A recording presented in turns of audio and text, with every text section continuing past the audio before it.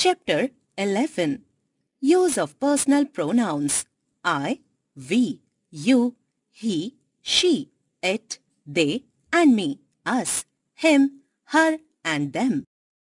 Look at the following sentences. This is Radhika. Radhika is a good girl.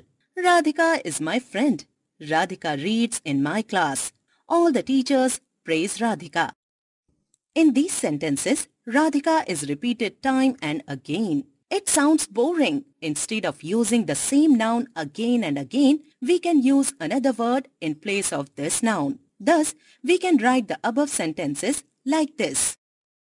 This is Radhika. She is a good girl. She is my friend. She reads in my class. All the teachers praise her.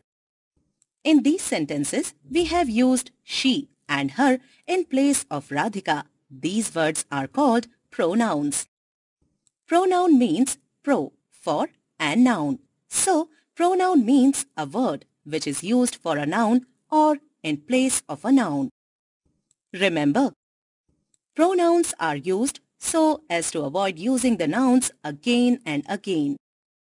When we talk about one, we use the pronouns I, me, he, him, she, her, it and you. When we talk about more than one, we use the pronouns we, us, you, they and them.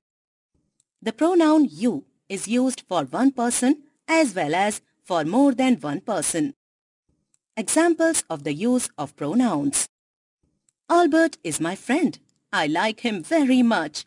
We study in the same school. He has two sisters. They are Linda and Jane. He likes to play with them. Albert's father, Mr. Finlay, is a serviceman. He works in a bank. His mother, Mrs. Finlay, is a homemaker. She looks after the family. Albert also has a pet cat. It is very playful. It is also very fond of me. Note. I, he, she, it, we and they are used as subjects in the sentences. Me, him and them are used as objects in the sentences. The words used both as subjects and objects are called personal pronouns. Remember, personal pronouns as subjects I, we, you, he, she, it and they. Personal pronouns as objects me, us, you, him, her, it and them. Chip